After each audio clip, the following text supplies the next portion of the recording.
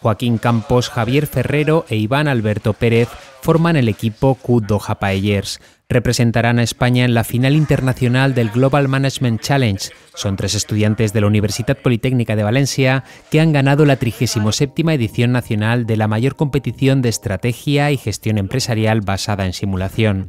En abril competirán en Doha en la final internacional. Este año empezaron un total de 412 equipos con alrededor de 1.700 personas. Eh, a partir de ahora, ya para la final internacional, esperamos que haya en torno a 30 equipos, todos ganadores en sus propias competiciones nacionales. Entonces eh, va a ser muy complicado porque aquí sí que va de verdad el mejor de cada país, pero veremos qué se puede hacer. Global Management Challenge se celebra desde el año 1980. Es un certamen que simula un mercado real donde los participantes deben dirigir una empresa en un entorno altamente competitivo. El objetivo, alcanzar el mejor resultado. Reciben los datos económicos de una empresa virtual. Su misión es tomar decisiones rápidas y eficaces. Un simulador calcula el escenario y da los resultados. Los tres estudiantes de la UPV han llegado a la final gracias a la buena gestión que han hecho de los recursos humanos. Bueno, nosotros creemos que la buena gestión que hemos hecho de los recursos humanos. Estábamos acostumbrados a escenarios en los que se destacaban dos o tres empresas, pero aquí destacaban las ocho. Veníamos los ocho mejores del país.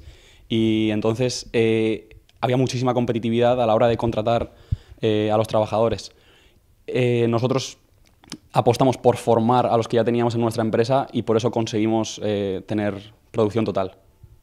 A través del grupo Generación Espontánea, que desde la UPV potencia las competencias transversales, conocieron este concurso y el año pasado ya participaron en él. Nosotros el año pasado ya estuvimos trabajando con la competición, entonces aprendimos muchísimo, ya nos dimos todas las tortas que teníamos que darnos. Y entonces este año, eh, digamos que hemos conseguido superar esos problemas porque al final los ingenieros solucionan problemas. Tomaron las decisiones adecuadas, siguieron la estrategia más acertada y ahora el reto es ganar la fase internacional. De momento el premio es el viaje para competir en la ciudad catarí de Doha. Allí estarán del 10 al 12 de abril para participar en la fase internacional de la edición 2016-2017 de Global Management Challenge.